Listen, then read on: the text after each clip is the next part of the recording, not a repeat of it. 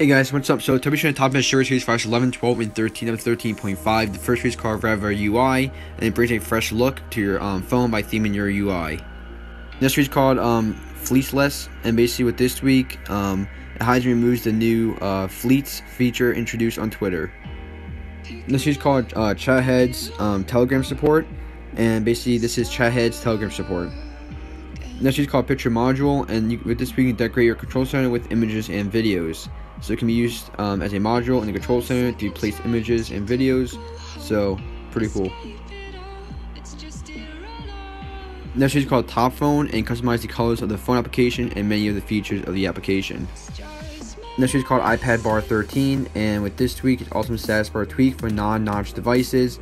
Keep all iPad status bar features, customize your time format, network speed, carrier name, and more.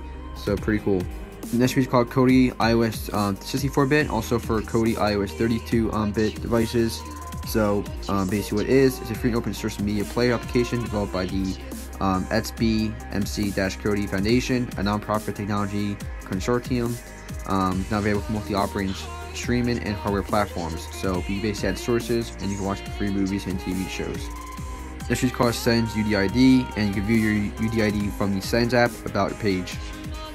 This is called Graphite Library, and it's a powerful library for iOS development.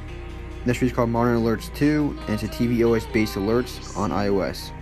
So Apple's been using the same design for two years. I mean, for years, and it's time for something more modern. Um, modern 2, Modern Alerts 2 redesigns alerts on the iOS to look more like the alerts on the tvOS. So you have custom background, custom button colors, custom background images, and dark mode.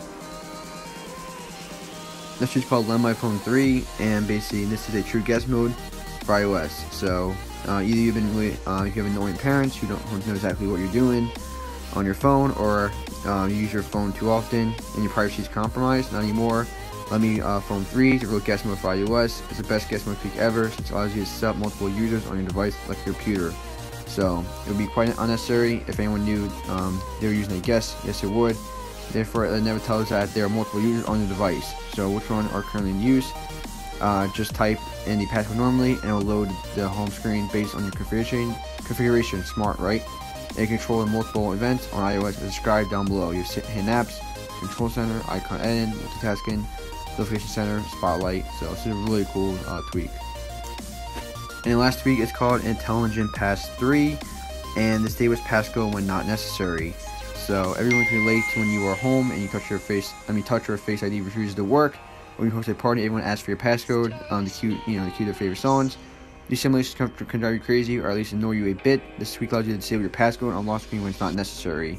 But at the same time, keeps features like Apple Pay and iTunes um, purchase protected. So pretty cool, guys. Um, it's built um, with functionality on iOS 13. Supports both iPhones, iPads, and iOS 13. You can even disable your passcode during events described down below. So you guys, thank you so much for watching. Catch you guys in the next one. Like, comment, subscribe. Have a good day or night, and peace.